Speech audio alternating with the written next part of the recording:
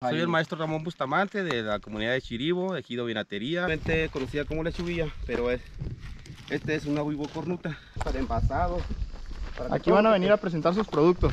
La carretera que baja por aquel lado, la más al fondo, es la que te lleva para Álamos. Vamos a mostrar ahorita lo que son las plantas de la lechuguilla, principalmente. Ahorita nos encontramos aquí con un profesor de este poblado, el cual nos va a narrar y nos va a contar lo que se puede hacer y lo que no se puede hacer por esta zona y qué es en sí la lechuguilla, que es una planta donde se extrae la piña, donde ellos elaboran lo que viene siendo esa bebida tan, tan característica de acá de los pueblos, ¿no? Sí, aquí estamos ya con nuestra producción, vamos a pasar para acá donde está más. Vamos para acá para donde tienen ellos pues las plantas de la lechuguilla, su principal materia prima para la elaboración de la de este vital eh, líquido.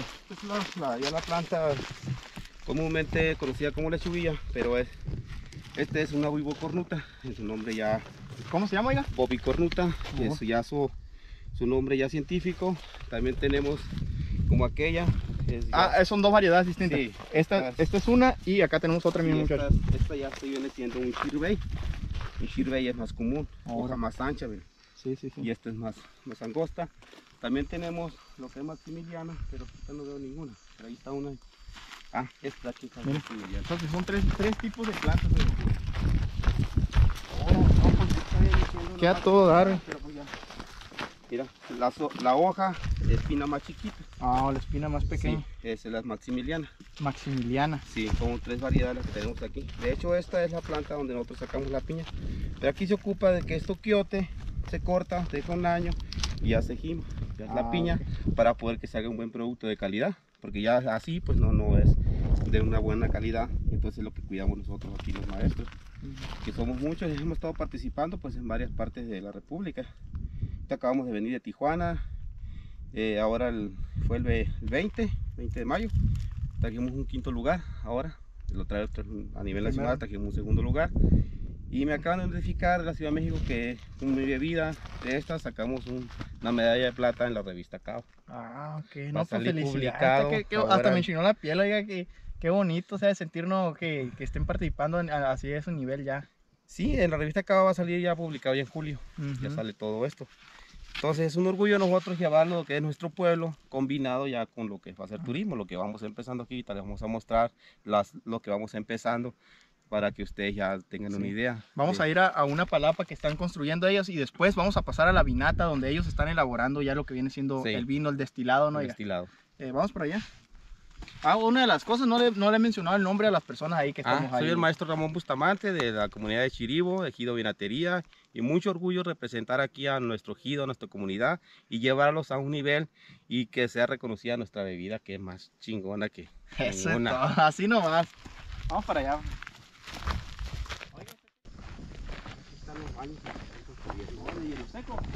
Sí. ¿Qué tal, oiga? Buenas tardes. ¿Cómo va el programa aquí, el proyecto? Ay, el mirador que tiene aquí, oiga. Miren nomás que chula el mirador, muchachos, para acá. Ay, ay, ay, qué chulada. Miren. Ven cómo se ve para abajo, pues allá. Ey, miren, ven aquella carretera que se ven por allá. Todas esas carreteras ahorita las vamos a cruzar nosotros para poder llegar al poblado de Álamo. Qué chulada, no diga. Vamos para allá por la palapa porque el señor quiere mostrarnos su orgullo de aquí del pueblo, la palapa. Y estos bañitos van a caer de primera no. Cuidado. Esto ya no está terminado, aquí falta algunos detalles. Y bueno, queremos terminarlo ya para cuando la gente venga. Sí. Esto va a servir como para, para las degustaciones, para las artesanías, para envasados. Aquí van a venir a presentar sus productos. Todo. Aquí es la invitación para todos los, todos los de Álamo, Navajoa, que vengan a visitarnos aquí. De Navajoa todo el mundo que quiera venir, eh. Que nosotros tenemos aquí. Miren nomás que chulada de palapa, eh, nomás el techo. Bueno, está terminado, todavía está, le falta mucho detalle. Le faltan detallitos. Y lo más bonito que tenemos nosotros aquí es esto, este mirador que nosotros le decimos el de visadero. De visadero. Nosotros jóvenes, sábado y domingo nosotros paseamos hasta aquí. Una vez pues paseando y otra vez hasta noviando, que era lo que más hacíamos aquí. Ah, eras un noviero. No, pues todos hacíamos ese negocio, ya de joven pues. Y esta es la, la vista que nosotros No, tenemos. pues aquí las conquistaban a las muchachonas, ¿no? Con esta vista. Que nomás, qué belleza, oiga. Toda esa carretera te la vamos a bajar otra vez. oiga. Esa bajan de, Sí. de- Y por aquí no hay camino para llegar más rápido. Eh, la moto. No, con la moto no. Tenemos que rezarnos hasta allá, hasta Huicoche. Hay que regresar y darle la vuelta. Tenemos que dar un vueltón, pues. Ahorita estamos lejísimos de- del pueblo de Álamo. ¿Como cuántas horas más o menos, oiga? Eh, en moto son como tres horas. Tres horas más o menos, puro subidita para acá. Pues no, no nos hace más horas porque nos paramos en cada pueblo, ahí nos estamos, pero si un tramo recto así, unas tres horas más o menos. ¿Eh? Vamos a echar a volar el dron, muchachos, para que vean unas tomitas de aquí, la calidad de, del lugar que tenemos por aquí. Vamos, vamos para allá, vamos para acá.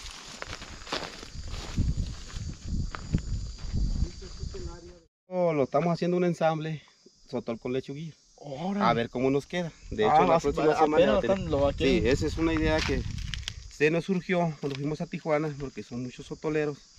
Y de hecho está pegando un chingo eso. Entonces, Órale. entonces dije yo, ¿Por tengo qué? sotol y vamos a darle a ver cómo sale. No, pues qué chulada. que- Quiero probar esa bebida No, también. yo. pues aquí la vamos a tener. Qué chulada, ¿eh? Nos encontramos en otro mirador un poquito más alejadito donde está la, la palapa. Es una cosa impresionante la vista que se tiene aquí. Le voy a dejar unas tomas ahí con el dron para que vean. Y aquí el señor nos va a explicar un poquito cómo está el movimiento aquí la bomba. Bueno, aquí el poblado de abajo es- se llama la vinatería, comúnmente porque en- eh, hace ya son 80 años. Entonces aquí, en este poblado, se bajaba todas las piñas de aquí arriba. ok. hacia aquí abajo. Entonces había mucha vinata. Pero realmente el pueblo se llamaba Tres Hermanos. Tres hermanos. Entonces vino un señor de Álamos censando los pueblos, cuando empezaron a censar. Y ya que vio tanta vinata, tanto movimiento de mezcal y todo eso, no, aquí está la vinatería. Y así se le nombró. se quedó. Por eso es ejido vinatería, pero acá estamos en lo, que es el Chiribo. Ajá. Pero es la vinatería por haber tanta vinata, tanto destilado. Tanto destilado de De ahí proviene esto. Oiga, la carretera que baja por aquel lado, la más al fondo, ¿es la que te lleva para Álamos? Sí, ¿O- es la que va para ¿Y esta que te, esta que- Esta baja al poblado de la vinatería. Ah, ok. Es, es para llegar a, a- a- lo que viene siendo las chinacas, no pasas por aquí. No, allá está, mira la desviación. ¿Está viendo la desviación allá? Entonces, ahí se desvía. Aquí hay unas bellezas de aguas. Tengo que venir para acá, oiga. Aquí en las bellezas de aguas, ojalá me, me tocara acompañarte. Es unas bellezas de agua. De todo eso verde, es un arroyo, es el arroyo que sale a Taimonco, pero aquí está más grande. Sí. Entonces, ¿dónde me puedo desviar yo para entrar Y para allá acá? La desviación. ¿Y, de- y qué, qué más o menos dónde queda esa parte? Allá está en la pura mitad, mira. Ajá, pero ahí es más o menos como subiendo. Sí, es que no, subiendo, subes todo lo más, a una parte pareja y ya empiezas a subir, ahí está, luego está la carretera, por ahí- la mano izquierda. Ah. Es la única que vas a ver. Aunque es un poquito más para allá esta otra, pero ese es un para, es una bajadero para un ranchito. Pero acá la carretera grande, es carretera grande la que vas a seguir. Pues. Ok. Una chulada, una ahí. chulada, mi amigo. Ahora nos van a mostrar un poco mejor el proceso del destilado de la lechuguilla. Es un aroma que...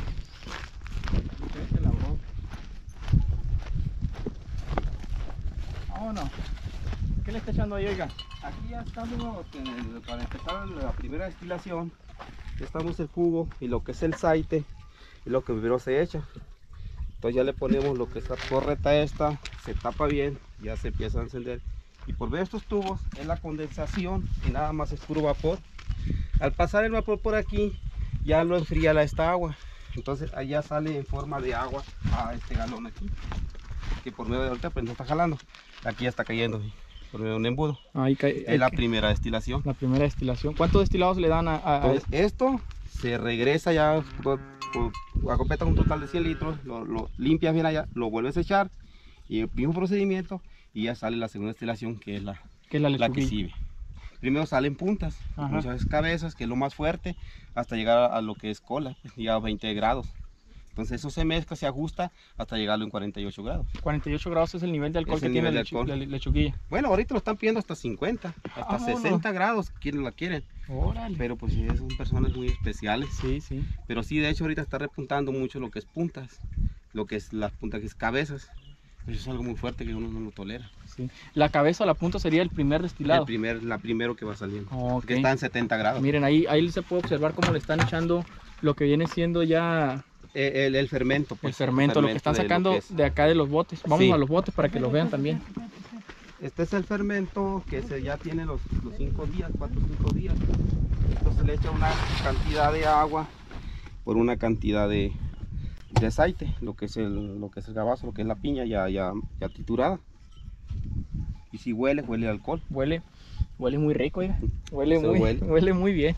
Eso es lo que, lo- Ah, lo ok. que hacemos Entonces acá. de aquí lo van a estar Pasa allá, a la- allá, a la al- fuego. Sí, al fuego, a la primera A destilación. la primera destilación. Vamos para que vean el fuego también cómo está por acá. Y este es mi amigo José Ángel Ramos, maestro de, también aquí compañero de nosotros, que está desde ahora, te puedo explicar a él. Ajá. Pero esta es la hornilla donde se está cocinando, un untamos. Mira, ahí van a mirar cómo le ponen lo que es la, ya para, para, para tapar. Acércate para acá para que, para que vean las personas cómo está el movimiento aquí. de abajo, de abajo, de abajo. De abajo, de arriba. Ahí quedó, ahí me ensambló. Ahí está, ahí está, ahí está. Y ahí lo van a sellar, oiga, para que no salga nada Sí, por la orilla. se, se sella con el mismo aceite. El mismo aceite. lo- lo- eh, sería esto que tiene aquí. Sí, ¿no? es el aceite, lo que es ya. Pues Sí. mucho mosto aceite viene siendo lo mismo. Ok, hay que sellarlo totalmente para que no salga nada de vapor. Sí, que no salga nada de vapor porque es el que, el que se hace el, el verdadero mezcal. Vámonos. Uy, qué chulada. ¿Y Este- este proceso alrededor de cuántas horas, cuántos días dura? Bueno, eh, el proceso de, de- de- desde que se empieza el, trabajo de proceso de, elaboración del- de, la lechuguilla, digamos, empezamos con el jimado, pues son 3, 4 días de jimado y ahí se pasa a, a cocerlo, lo que está ya hasta arriba. Se pasa otros otros dos días. El caso que se lleva, al caso 12 días, hasta 15 días puede llevarse para ya empezar a destilar. 15 días, sí. Eh, vengan para acá para que vean también cómo está el proceso acá arriba, ¿eh? Estas mangueras que te ven aquí, muchachos, van a enfriar lo que viene siendo la tubería que está aquí, ¿no? La tubería de cobre. Tubería de cobre, la enfría y después ya empieza a salir lo que viene siendo vapores. Sí, el vapor pasa ahí, pero ya condensado ya se Sale convierte en el agua. líquido. El líquido. Sale el líquido por acá. ¿eh? Vamos a esperar ahorita para que vean cómo empieza a salir. No, va a tardar rato. ¿Va a tardar rato? Sí, No, pues entonces no, no, no vamos a esperar nada. no, tiene, sí, Sí, rato, bueno, una- pues Una, una hora de perder. llegamos hasta los extremos, hasta estos rincones de Álamos, porque pertenece a Álamos este, esta comunidad, ¿no? oiga? Sí, eso no, orgullosamente de Álamos y orgullosamente lechugueros de Álamos. Así de, aquí, nomás. de aquí nacen y de aquí somos los lechugueros de Álamos. Pues muchísimas gracias ahí por mostrarnos y darnos a conocer un poquito más de, de todo este... Esto es, es, es algo artesanal, oiga. Totalmente artesanal. Esto se ha hecho desde hace ya 80, 100 años, ha sido lo mismo. Ajá. No, no ha sido modificado de ninguna manera. Eh, Este, este alambique, el alambique este se llama tren. Sí. Tren, porque hay alambiques de otras maneras. Entonces este Yo he visto es- de madera. Sí, también hay de madera, pero es la misma forma. Ajá. Después, como un tren, pues, es sí, sí, es alargado. un tren largado. Porque muchos de Oaxaca, nada más es aquello, el agua arriba y un tubito ya sale. Ah, no, pero este tiene ma- este mejor. Esto es mejor, entonces es, el- es, es de aquí esto. Ajá. Fue inventado aquí por un señor que se llama Enrique Lagarda, todavía vive. Entonces este señor fue el que lo modificó, este tipo de tren. Y con doble tubo y doble salida, porque he visto nomás con uno yo. Sí, también hay con uno, pero aquí lo comunicamos con dos. Mejor, más rápido. Es más rápido y es más... Pues ha, pues ha dado resultados eh, este tipo de mezcal en esta forma porque ya ves que los premios que hemos estado sacando y gracias a Dios pues nos ha ido bien en ese aspecto. Ajá. Amigos, pues él tiene una marca también muy Sí, la marca se marca del cimarrón. También tengo mi, mi página de lechuguilla del cimarrón y en Insta, pues como Ramón Bustamante también. Ahí me pueden encontrar todo. Ahí tuvo contenido, hasta, hasta ahora estoy empezando a subir para, para mostrar todo lo que estamos haciendo aquí.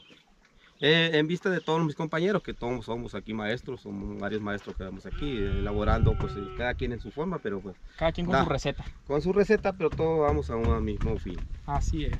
Amigos, pues muchísimas gracias a todas las personas que llegaron hasta el final de este video. Agradecidos con cada uno de ustedes porque pues ha estado ahí pendientes de la página del canal. Y pues esperen en un próximo video, una próxima aventura, algo nuevo que contarles. Ahí nos despedimos. ¿Mm?